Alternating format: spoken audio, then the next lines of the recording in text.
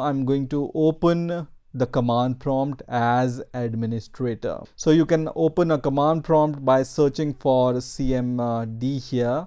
And then just right click here and then click on run as administrator. And once your command prompt is open what you need to do is you need to run this command here so this command I'm going to give you in the description of the video also.